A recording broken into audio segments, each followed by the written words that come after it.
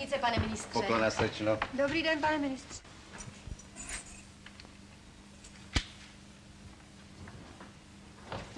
Račte je taky výtahem? Ano, pane ministře. Prosím.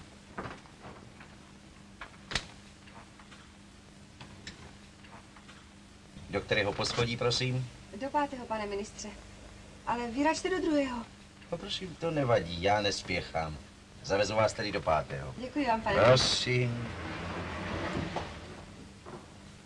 Co tomu říkáš, muži? Nic, ty telegrafie bez drátu. No dovol já. Tak telefon je bez drátu. Ne? jdi si po práci, jdi.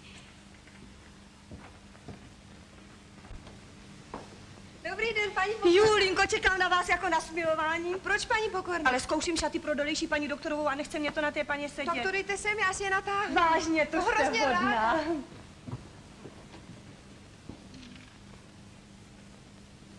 Paní Pokorná, Co je? víte, co se mně dneska stalo? Co pak? Hádejte, s kým jsem měla ve zběži. Nemám tušení.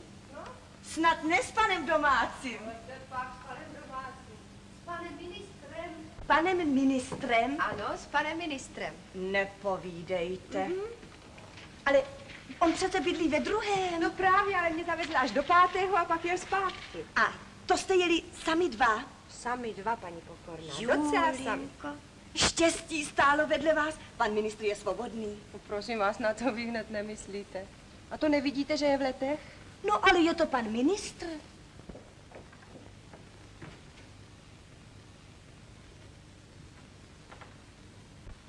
Stalo se vám něco, paní správcová? Ruku líbá, milá spaň.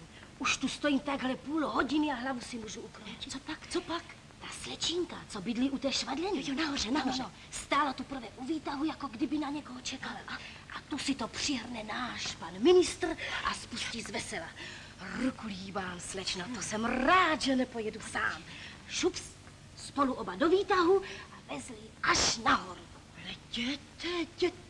Paní správcová, to myslíte, jako že spolu něco... No vím já, on bydlí ve druhém a ona v pátém patře. No nemohu být ve všech patrech najednou To a ne, poslouchat to u všech dveří. To ne. No to musíte uznat, že na to samo jedinká nestačí. To ne.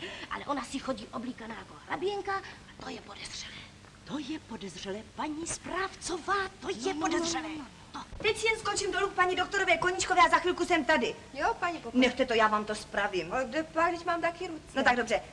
Ale poslyšte, Julinko, být takovou paní ministrovou, to není k zahození. Prosím vás, ještě to někde povídejte a budou z toho řeči.